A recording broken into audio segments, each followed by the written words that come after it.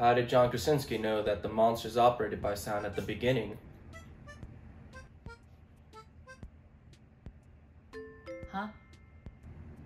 At the beginning of A Quiet Place Part 2, John places his hand over somebody who was muttering to himself quietly, almost as if he knew that the creatures operated by sound.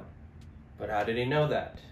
Did the movie give some sort of indication that he figured that out? Why was the monster passing by the storefront listening for them? I mean, was there no more sound in the town even though the attack had started moments earlier? Good point.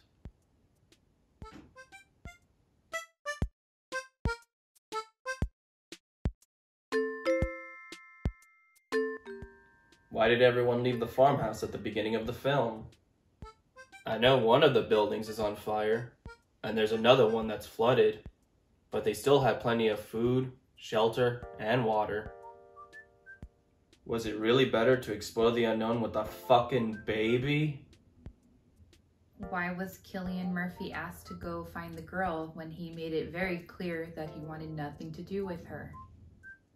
And why did he do it? Was there half a day together all it took to convince him to go? And why did the little girl tell Cillian that he was nothing like her father? At any point in the film, did it make it seem like Cillian wanted to be like their father or thought that he was better than their father? And why did the son go exploring the factory even though he had a messed up leg? Did Cillian indicate that he was hiding something that made exploration necessary? Why, Melinda, that was done for suspense. Wow. How incredibly stupid. What was the point in the people guarding the boats? They were killed pretty easily. Wouldn't they know that bunching together would end up being their downfall? I mean, you could have just had the creatures in the area. That way, you wouldn't have to pay a bunch of nobody's money for a scene that seemed incredibly pointless. Or actually make them adept psychopaths that provide a greater challenge. So the creature just stayed on top of the boat for the entire journey and then ended up landing on the exact same island as them? That's a pretty big fucking coincidence. Why didn't the pointless people just try going to the island? Did they not know about the island? What was the point of guarding the boats? So Cillian discovered the boat that the creature was on, which seemed to have arrived on the island before anyone noticed. Yet he was still able to make it to the people making noise before the incredibly fast creature did.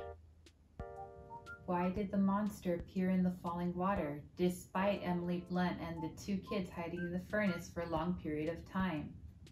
Was it asleep in there? And why did Emily run as soon as it appeared? The movie had already established that waterfalls made it harder for the monster to hear. Did she forget that?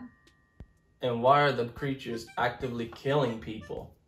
Doesn't seem to be eating them. If it's because the noise annoys them, then shouldn't they be okay as long as there's no noise at all? Yet it always looks to be hunting.